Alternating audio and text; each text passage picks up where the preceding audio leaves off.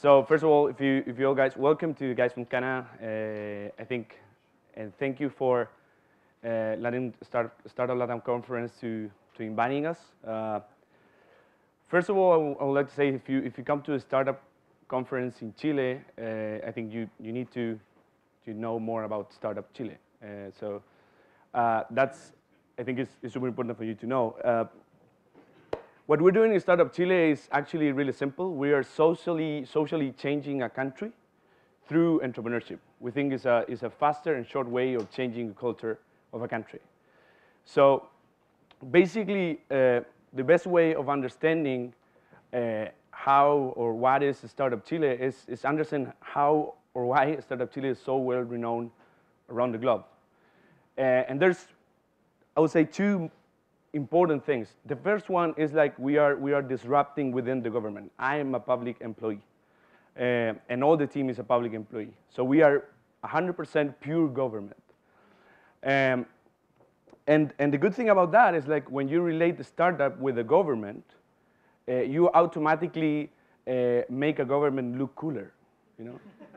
and that's what's happened, actually. Um, so what is Startup Chile? We attract entrepreneur talent from all over the world, including Chileans, and we uh, give, them, give them the opportunity to develop their businesses in Chile, base, uh, setting bases in Chile, using as a platform. And our main mission and, and obsession, actually, is to transform Chile in the innovation platform of Latin America, which I will tell you more about it, and you will know that we are kind of doing that. Another thing that uh, why Startup Chile is so well renowned is because four years ago, the government, through the initiative uh, uh, of a, a big entrepreneur in Chile called Nico Shea, had the brilliant idea of giving money for free to foreigners. Sounds kind of crazy, even if, if, it's, if it's a public policy. Huh? So Chileans were like, you're crazy. You're giving money to foreigners to start up a company in Chile when there's no startup ecosystem in Chile at all? So it's kind of weird. And the other one is like we were giving one year working visa. So when everyone is once, uh, uh, every country or a few countries were kicking entrepreneurs out because of migratory policies, entre parentheses, US, um, we were accepting them, open doors for them. You know? Uh, so these two things were kind of new for a market and for a government as well. So the first article that we had four years ago was, was an article from, from Forbes and they came here and said, so, okay, so you're, you're giving visas to foreigners to start up uh, here and, and stay in the States, they're kicking them out. So, so there was like a huge buzz about that. So that generated that everyone started talking about it. Like 2013, we get more than a thousand press coverage. So it was like three times, three coverage a day in, in media that are not small. You can see The Economist was the biggest one in the end of 2012. Um, and and we, we don't have any marketing budget. So it was kind of huge. And, and we still don't. Don't think that the new administration is giving more money. or something. So what's really happening? So all of these, the benefits that we give, uh, this innovative, uh, you know, way of, of giving, um, giving uh, what the entrepreneur needs. So what's really happening? That after four years, we have received more than, now we are reaching the 15,000 applicants. So 15,000 companies have applied to Startup Chile. We have selected 950 already. We're about to select uh, 100 more from 75 countries, 75 different countries. We have countries like Kazakhstan, and we have countries, of course, the, the, five most important ones. Five most important ones are, of course, Chile, United States, the second, second and first, we're kind of fighting. And uh, the third one is, is India, Argentina, then Brazil, and the, the fifth one, I bet you know, Canada, of course. We have a few, uh, a lot of entrepreneurs from Canada selected. We want to have more, so if you want to tweet that, it would be amazing. Uh, another good thing uh, that uh, Startup Chile has, and, and, and it's happening now, is that we have no requirement besides you don't need to be older than two years, the company, of course.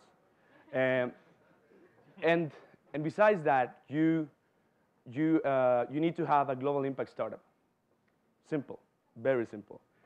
So with those requirements, we start receiving different stages companies. We start receiving different industries companies. We start receiving different experienced founders, you know? So we have founders like, we have a founder who, who worked the World Press Photo two times, a German guy, and he came to Startup Chile to do a copyright startup, which is doing really good, really well. And, the, and we have another founders that sold their companies to Amazon in $50 million, and they want to come and, and do another startup, so they came to Startup Chile as well. So it's a variety of entrepreneurs that in, in, in general create like a huge collaboration with each other. So we generate this whole community and we do activities with each other that the only thing, that the only goal is create value, nothing else. So what we're looking for, that this is the question that I, that I usually get when we have the application process. What you guys are looking for? And in the end, we're looking for, and it's no better way to, to tell you this with examples. This is Rafael Lang, he's the co-founder, co-founded a company called BabyBe with a Chilean called Camilo Anabalón. What they do is like they, they, they replicate the first two weeks of the mother with, with, a, with a recent born child uh, when the baby is confined to an incubator. So they use that kind of turtle to replicate that time uh, because it's so important the first two weeks. Uh, and actually, childs die because they don't have those two, first two weeks the mom that they use it this way. They, they have won a lot of competitions. They, they are selling their first prototypes now, and they're really nailing a huge, huge problem. So this global impact, problem solvers, that's what we like hardworking entrepreneurs, I think there's, everyone knows here that no, there's no magic recipe uh, besides hard and smart working entrepreneurs. She's Samantha Snabes. She came here, worked hand by hand. It's, it's absolutely amazing. She's from Houston. She works in NASA before Startup Chile. And she was working in the, in the largest and lower cost uh, 3D printers all over the world. Uh, she, she had a great Kickstarter campaign, and now she's selling all over the States their great 3D printers. We want entrepreneurs to experiment, test, eager to experiment and test and prototype. This is a prototype, actually. This is a, this is a cockroach, you know? So entrepreneurs, uh, we were doing neuroscience to school, start prototyping neuroscience with cockroach. I know it's kind of cruel, but startup, you know? determined to build value. Entrepreneurs that are from the valley, for example, this guy, and decided to come to Startup Chile to build value, to build their companies with more value, and then coming back to global markets, then can come back to the Silicon Valley. And I will, I will tell you further because say, so what's the point of bringing entrepreneurs and then they can come back to their countries? I will tell you more about that in a few slides. So he's the founder of Eurex, a company that raised more than 15 million dollars last year. He came here, he pivoted after three months, he went to YC and they raised the money money. So those kind of entrepreneurs we, we, we love. You know? They want to come here to build value and then come back. Developing new markets. This is GoPlaceIt. I bet that Chileans, entrepreneurs Chileans here know about this startup. They are disrupting a, a traditional market, who was like the search engine of real estate properties. And what they do is really simple. They, they change it, they sweep, they, they, they change how this all of search engine works, and then and they do let they let the, the properties finds you more than you find the property. Uh, they raise they, they raise uh, a million dollars from Chilean funding, and they're growing really really fast in Latin America, specifically in Colombia, uh, Mexico, Peru as well, and, and of course Chile. They're Chileans as well. So why are they coming? That's another question. So why are all of these people coming? All of these 950 startups from more than 70 countries coming to Chile? And the, the answer is it's, it's kind of simple, but now we are entitled and we have the honor to say that we are the biggest community and most diverse community of entrepreneurs in the world. Uh, and that's not a lie. It's, it's simply you cannot find another incubator accelerator with this amount of startups and that, this diversity. The second one is like we try to give all the things that an entrepreneur need when it comes to an ecosystem like this. So we give them $20 million, We give them one year working visa. We, we set them with everything that they need in just one or two weeks. So in two days, they have a Chilean ID. In one week, they have a bank account. There's a few entrepreneurs from Startup Chile in, in the back, so if you want to ask if it's true, it's true. Um, also, we have access to Latin American market. We have an acceleration process. And, and we also want people that want to be part of this history-making, you know, uh, startup from the government. The third one is like we have follow-on opportunities.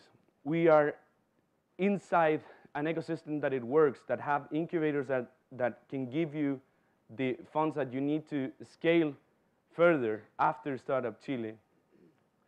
And, uh, and, and we're working on giving much more possibilities in this area, creating the conditions of, an, of a healthy ecosystem after Startup Chile. It's a fair deal. I think for entrepreneurs, it's a fair deal. But that's not all of it. We, we don't give just free money. We don't give just one year working visa because we, we like it. Entrepreneurs have the chance to inspire others, and, and, and, this is a key part of Startup Chile. I started the, present, the presentation say, saying that we want to change socially Chile. So what we do is like we give them all of these things to the entrepreneurs with one thing that we, that we ask back. And it's like they need to return to Chile, uh, giving the chance to other entrepreneurs to learn what they have learned, you know? This is a great example, and I will keep doing examples. This Komal Dadlani is a Chilean, Chilean Indian, but Chilean. She, she, she born here. She, she was mentored by two or three entrepreneurs from Startup Chile. She participated in a Startup Weekend program that was organized for the Startup Chile alumni here in Santiago. She won the Startup, the startup Weekend, then applied to Startup Chile. She won Startup Chile, and now she's doing great. She, she was in Silicon Valley for two weeks. She was a finalist on the, on the, on the Intel Challenge. Um, she raised money for the, for, for the, uh, with the most important biotechnologies in Chile, which is Pablo Valenzuela. Uh, so she's doing great. This is a great example of what we want to achieve with the entrepreneurs that, bring, that, we, that, we, that we have here in Chile. Tim Marzullo, this is the same guy from the cockroach, but now with real people. I think you can notice who is the foreigner. So Tim, what he's doing is a win-to-win -win situation. So he, he, he, of course, is helping us socially to change Chile. But in the process, he is scaling his business through Chile. He's doing neuroscience for, for kids in public schools in all Latin America. They raised $2 million in the States and they came back to Chile and they're starting to do neuroscience in public schools. How cool is that? Jose Albornoz, exporting talent. All of these opportunities, the interaction that we create between Chileans and startups that we bring from outside and Chile as well, create the opportunity to find right talent. This is Jojo Albornoz. This guy work, uh, met the founder of Synergos. He sold his company to Amazon. He came to Startup Chile and founded Jojo. He hired him, and now he's living in Berlin with him with a great, great life experience, and, and he's only 18 years old. Has it worked? This is a big question, but I think it has a big answer as well. The answer is yes, it held yes. And, and the thing is like more Chileans knows about entrepreneurship. And you can say Chile is a small country, but it's a country. We're changing a country, okay? So we have reached more than 180,000 attendees like this events in Chile since we started. We have done more than 3,700 activities all over Chile. So this is kind of traction. And Chile has positioned, positioned itself as a innovation entrepreneur hub in the world. We, we don't say it. Opino, we are the representative, representative of MIT licensing in Latin America. They did a, a, a, a study a few, a few last year actually, and we was named the number five because of its ecosystem. That was our competitive advantage, ecosystem. Startup Genome name us number 20. If we take all the North American cities, we are like number 14. Of course, there's, if, if we don't, if we don't, uh, we are not able to bring the best startups, we cannot impact in the right way uh, a country. So the business is important for us as well. This number, these numbers are not updated. We have, we have passed the $100 million raised. 50% of our companies are still working in these four years, or, uh, or at least not dying. Um, we have acquired 10 companies acquired, it's not updated. Uh, the last company acquired was, was last week. Flipter was acquired by, by One Word Online. Um, $14 million in the last six months uh, of selling, uh, companies are selling. So are pretty good numbers. And the entrepreneurial ecosystem has changed uh, and is not going, going back, you know. One good sign about this is like the newspaper is starting to create special sections about entrepreneurship and technology. Four years ago was nothing about that, nothing, believe me, nothing. Uh, and now, I don't know, the, the person in charge of communication of Startup Chile received like every single day requests for the newspaper, okay, so you have a cool project, what is Startup Chile doing now? Who entrepreneur came here and I don't know, and we, we had an entrepreneur who was like a, the grand grandson of John Lennon or something. We put it in a press. Things like that happen. International organizations about entrepreneurship are landing in Chile after understanding that we have a healthy ecosystem here, like TED, like Startup Grind, like Girls in Tech, Startup Weekend, Lean Startup Machine, you name it, a lot of them. More than 10 investment funds has been created in the last four, years. Uh, this is the more impor important one. They're all starting to, to invest little by little. You know how investors are? Sorry, guys. Uh, and universities, of course, are starting to put uh, entrepreneurship and startup classes inside their curriculums. In these same buildings, there's, a, there's entrepreneurs doing classes, entrepreneurs from Startup Chile doing classes, yeah? And that's amazing. I don't want to bore you anymore, but I want to take this opportunity to say that we are closing an application process this Tuesday. So if you want to apply, and if you want to change a country, and if you want to be an agent of change more than an entrepreneur, or besides of being an entrepreneur, uh, please join us. And for the investors that want to be entrepreneurs again, please join us. Uh, thank you very much for the time, and, and the doors of Startup Chile are always open to you guys. Thank you.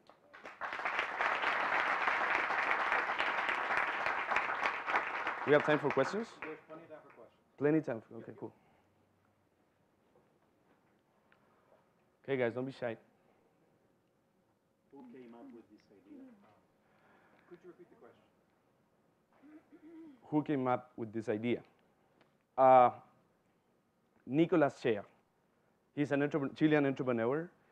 He was finishing his MBA in Stanford degree, uh, and when we finished it, he realized that the, the foreign entrepreneurs that would finish in the, in the MBA needed to come back to their countries because the visa expired. Uh, and the, the government hired him to be an innovation consulting of the government, the current government. And the first idea mixed with the need that the, that the ecosystem in Chile was inexistent. And in the entrepreneurs of Chile were thinking locally more than globally. Uh, he came with this idea of bringing foreigners from outside, and then everything exploded. I have a question. Can you um, speak a bit more? Thank you for the presentation. That was awesome. I'm over here. Where? Where Over are you? here. Where are you? Um, can you just uh, speak a bit more about kind of the follow-up infrastructure or ecosystem you're building for post-startup Chile? I know you're speaking about all the incubators and accelerators, and Uh-huh. congratulations on what you've achieved. It's been just tremendous. The, the Thank world's been watching, and Thank I you. know it's been a labor of love for you and your team. So good on you. Um, Thank you. But if you can just tell us a bit more about that and how the rest of us from outside of Chile can help. Great. Uh, good question. Actually, there's a few things that we're doing in that. I think the, the challenge for Startup Chile after the four years when we when we create all the buzz and uh, and we were we were popular, but nobody nobody was understanding how to evaluate Startup Chile and if it was good or bad or whatever. But there was a positive, positive feeling about it, you know. Um, but I think the main challenge is, is to is that the entrepreneurs that come to Startup Chile, they're foreigners, at least they have the possi- possibility after Startup Chile to stay. We have a percentage today that is not low, but it can be much better. We have 15% of the startup, the foreign startups stay after Startup Chile. A- And we really want to increase that number. But we cannot force that number to increase. So what, what our goal today is to make the conditions better for them to stay. One of the things is giving them access to, to fundings, early stage funding, as, after the pre-seed that we give. The other thing is connect them, connect them with big corporations in Chile that hopefully ca- have Latin American reach. That's the second thing. And the third one is like insert them in the ecosystem so they, so when they leave, at least they can based operation incorporate in Chile. So found, found a founder, a co-founder, or hire people, and at least uh, they can set operations in Chile. Those three things are the ones that are we are working on. Yeah.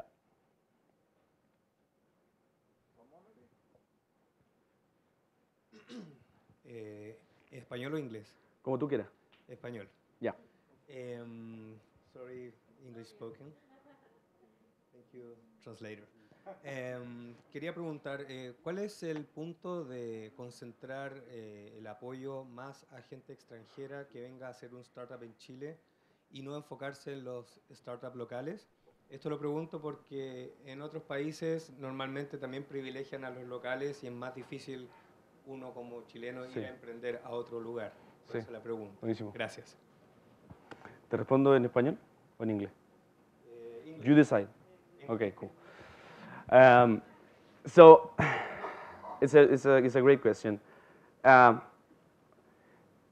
first thing is like the, the, the, the most, the most, uh, the biggest startups that we have are from Chile. So the percentage is like 25 to 20 between the States and Chile. In the last batch, we have, we have, we selected 30% Chileans and 20 or 18% from the US.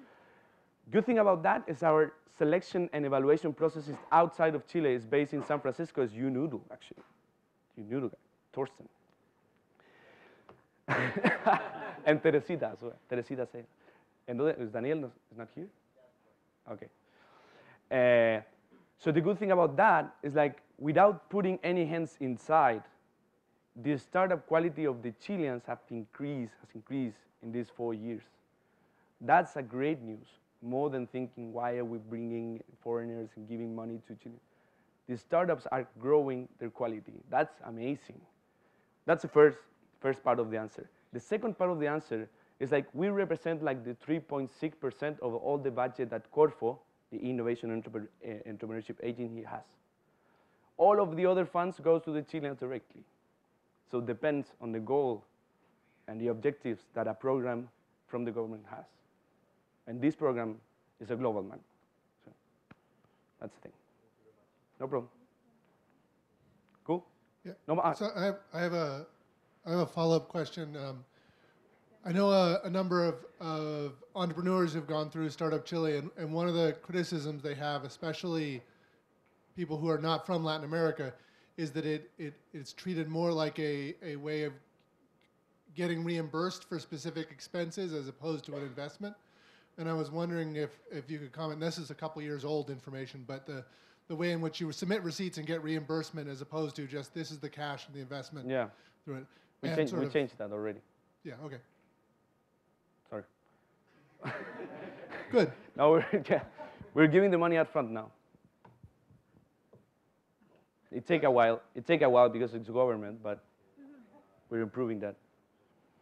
Okay. Ah, final question. Sorry, Sara. My name is Ilaria, and I'm part of Startup Chile. I just wanted to thank Sebastian and all the Startup Chile community because they gave us a great opportunity to get to know more about the South American market. Uh, Startup Chile has a, an amazing network of uh, mentors, and uh, all the staff has been very helpful for us. So thank you, for, for- thank you, Sebastian. Oh, for thank you. thank you, Laria.